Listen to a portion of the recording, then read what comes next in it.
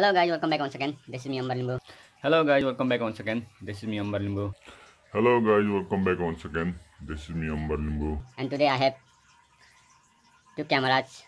One is cheap and one is expensive. See, this is GoPro Hero 5 and this is A9 4K Wi-Fi action camera. These are both action camera but today I'm going to show you what are the differences between this camera and which one is better to buy according to their price and and function. This is only 5000 rupees as you can and this one is 45000 rupees according to our country. Mm, 12 mp camera and it has also 12 mp camera. But what are the differences between this camera it has display and it has also display two inch. Both have the same size of display. But see the clarity it, it has a blur and it has a clear. It has touch display but it has no touch display.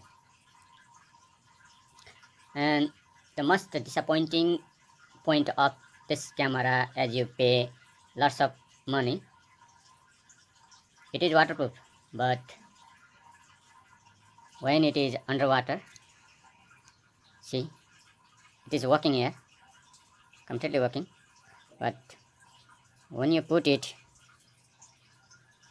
in the water see now the torch does not work. So when you go under the water then it will continue recording if you have started recording. See so this is the most disappointing point of this camera. So if you want to use this touch you have to dry out it. Then it will work. So and another disadvantage of this camera is heating when you record continuously two hours or more it will heat the temperature of this camera will be so high that uh, such like it it will burn.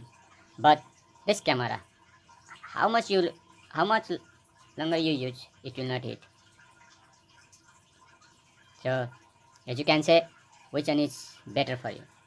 Because same quality. It has also 4k it has also 4k but the video quality is not uh, it says 4k but it will record only 1080 pixel per 30 frame per second. But it has a real feature and it has blurring. So tell me guys which one, which one do you prefer this or this?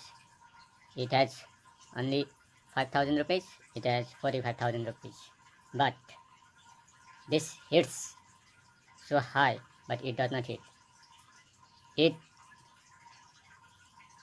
it supports a 64 GB memory card and it supports only 16 GB memory card. So according to this camera in my opinion I like this one best because anyone can buy this and as a motor vlogging or as a safety of a riding motorcycle? You can use this camera because it's cheap if it broke you will not have to worry about the price. But if it broke then you have to worry about the price. So that uh, I bought this silicon. So whenever it fall down it will not break down.